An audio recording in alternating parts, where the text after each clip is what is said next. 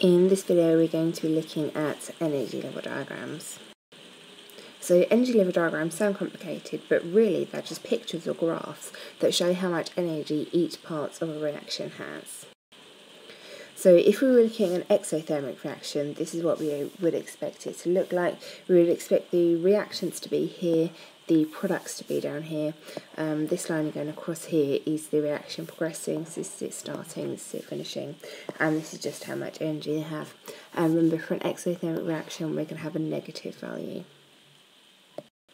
So for an endothermic reaction, we're going to have a positive value. The reactants are going to start down here, and then our products are going to be up here.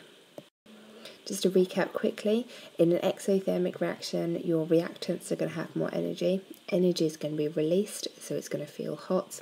In an endothermic reaction, the products have more energy. Energy is going to be taken in and it's going to feel cold.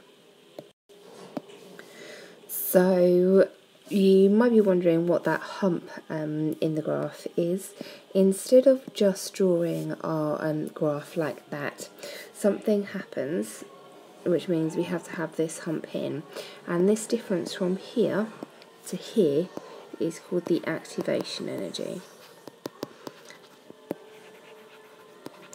The activation energy is just the energy that it needs to get started. Like um, when you wake up in the morning, it's really hard to get out of bed. The, the first, the, the actual first getting out of bed bit is sometimes the hardest bit. That's the activation energy, or the activation energy you find to actually um, sit down at your desk and start revising. Sometimes that can be the hardest bit. The other graph that you need to be familiar with is one that looks like this, where we have a big hump and a little hump. So the big hump in red is our uncatalyzed reaction, and our um, a little hump in brown is our catalyzed reaction. A more sophisticated definition um, for the catalyzed reaction, which we have here, um, is that a catalyst lowers the activation energy. Thanks for watching. I really hope this is helpful. Subscribe so you don't miss any of my new videos. Share to help your friends get better grades.